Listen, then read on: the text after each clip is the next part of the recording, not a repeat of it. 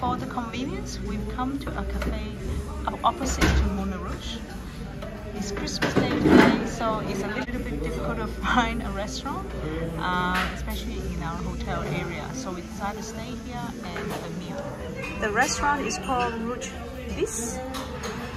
Looking forward to it. Last French meal before we go off. Our meal has arrived, our Christmas dinner. This is escargot, 12 pieces, onion soup,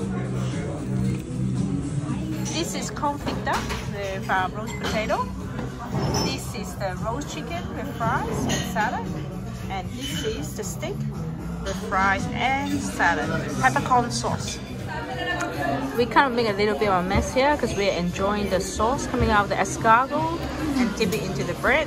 We really enjoyed it. It was really nice. We liked the escargot. The escargot was probably one of the best one that we had. Um, this restaurant is a little bit of a surprise.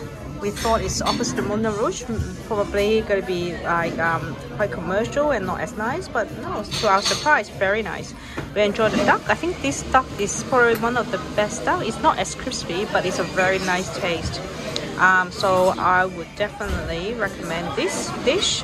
And when we had the steak, the steak is probably average, but the pepper sauce was excellent. Um, my son enjoyed the onion soup, thought that was really good. The chicken was really brilliant. Brilliantly done, juicy, tasty. It was a very nice meal. We only ordered three mains and it's more than enough. So we had escargot and also sauce and onion soup.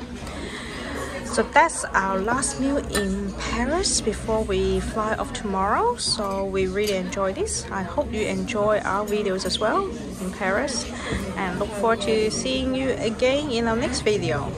If you like our video, please like and subscribe to our channel. Thank you.